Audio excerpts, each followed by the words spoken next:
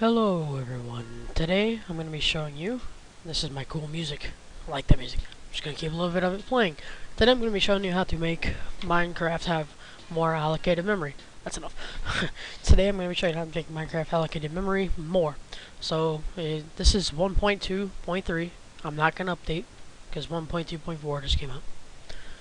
So I'm just going to show you that it does have since I'm recording, I'm only getting about 110 frames. 80 chunk updates and blah blah blah. 490 megabytes of RAM is in there.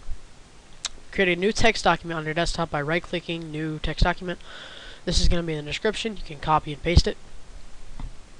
And this will be plus plus plus. You just change that to your Windows name and how much ever RAM you want. There will be a guide down in the bottom. This is one gigabyte since I have 16 gigs of RAM. So we're gonna open up Save As all files, most important, all files, save as type all files. Start dot bat, and we're gonna save it. Wait, and there it is.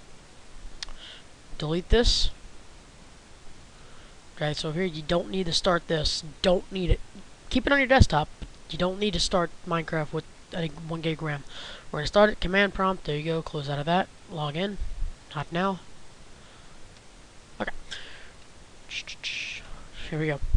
Okay. So, let me make sure, uh, scratch faster or whatever. And you can see, oh, oops, you can see 981 megs of RAM now. So this does work. Disclaimer in the bottom.